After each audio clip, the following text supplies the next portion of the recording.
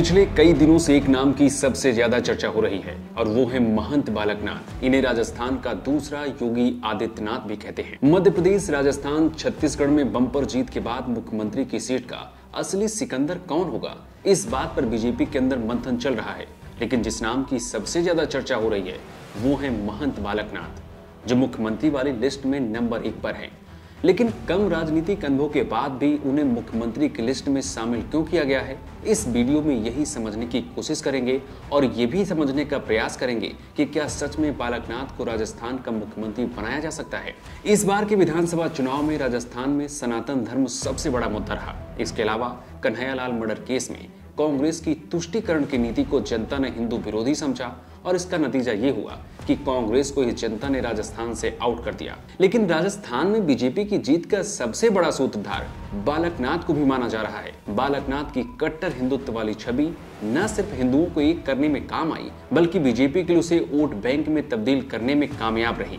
यही वजह है कि हिंदुत्व के मुद्दे पर बालकनाथ को बीजेपी सबसे आगे रख रही है। बाबा बालकनाथ यादव समाज से आते हैं। माँ छह वर्ष की उम्र में ही संन्यास ले लिया और अब राजस्थान में हिंदुत्व का सबसे बड़ा ब्रांड है। पहले अलवर से सांसद रहे और अब तिजारा विधानसभा सीट से विधायक हैं। ओबीसी होने की वजह से ही बालकनाथ सीएम पद की रेस में राजकुमारी दिया से भी आगे हैं। ऐसा इसलिए क्योंकि हालिया ट्रेंड में यही है कि हर पार्टी ओबीसी नेताओं को ही प्रोजेक्ट कर रही है। बालकनाथ का यादव होना उत्तर प्रदेश, बिहार के साथ हरियाणा में लोकसभा चुनाव में बीजेपी के लिए कारगर साबित हो सकता है। यूपी और बिहार में यादव वोट बैंक बहुत ज़्यादा है, जिसे बीजेपी अपनी तरफ़ करने की कोशिश कर रही है।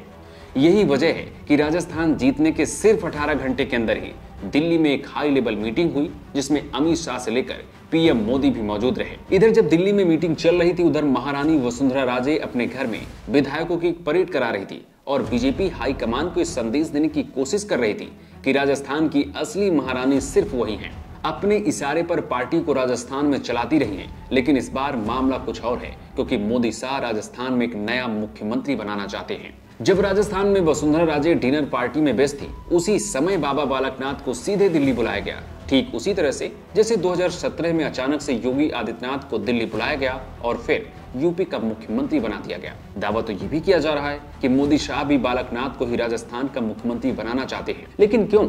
इसे भी समझिए। राजस्थान विधानसभा चुनाव में कन्हैयालाल मर्डर केस को बीजेपी ने मुद्दा बनाया और राजस्थान में बालकनाथ ने इसे जमकर उठाया और इसका फ़ायदा बीजेपी को मिला भी। हिंदुत्व के मुद्दे पर भी बाबा बालकनाथ को आगे करने पर बीजेपी को आगामी लोकसभा चुनाव में इसका बहुत बड़ा फ़ायदा मिल सकता है। चुनाव से पहले भी बालकनाथ ने अपराधियों को 3 दिसंबर तक राजस्थान छोड़ देने की चेतावनी दी थी। चुनाव के नतीजे भी बीजेपी के पक्ष में आए हैं। ऐसे में अब अगर बाबा बालकनाथ मुख्यमंत्री बनते हैं तो यूपी की तरह राजस्थान में भी ताबड़तोड़ बुलडोजर चलेगा, क्योंकि यूपी और राजस्थान दोनों जगहों पर योगी की सरकार होगी।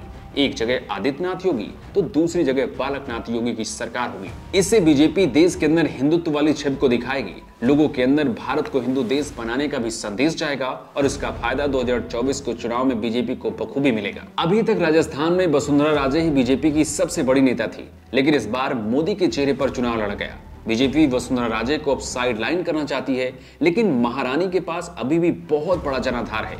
बीजेपी हाईकमान अभी भी वसुंधरा को मनाने में लगा हुआ है, क्योंकि अगर वसुंधरा राजे ने बगावत कर दी तो 2024 के चुनाव में बीजेपी के लिए बहुत बड़ी मुसीबत खड़ी हो सकती है।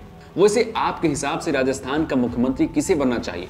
बालकनाथ को बनना चाहिए, वसुंधरा राजे को, या फिर दिया कुमारी को? आप अपना जवाब कमेंट बॉक्स में लिखकर बता सकते हैं।